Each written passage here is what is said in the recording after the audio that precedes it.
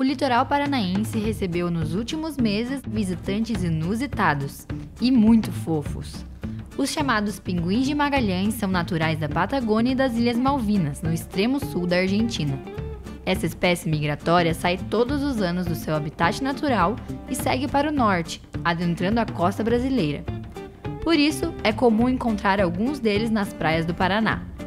É aí que entra o trabalho do pessoal do Centro de Estudos do Mar da UFPR, que recolhe os animais para tratamento e recuperação.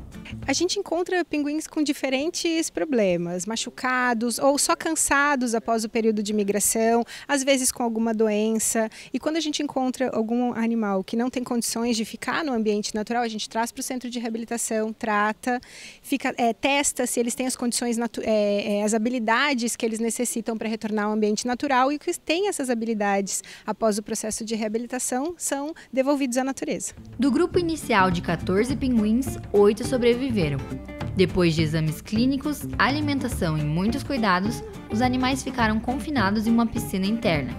Ali permaneceram por alguns meses. Nessa semana, veio o diagnóstico positivo.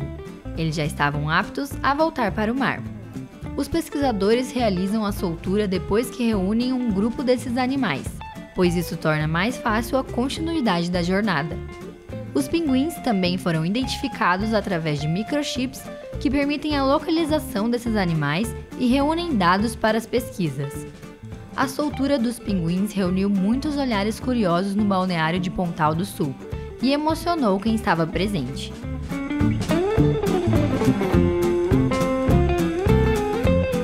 Eu acho que a importância de soltar os pinguins no habitat natural deles é porque se eles ficam em cativeiro, eles, eu pelo menos acho que eles só conseguem viver, viver metade da vida em vez na vida normal. Na vida normal eles conseguem viver uma vida inteira, na vida de cativeiro eles só conseguem viver, viver metade, assim.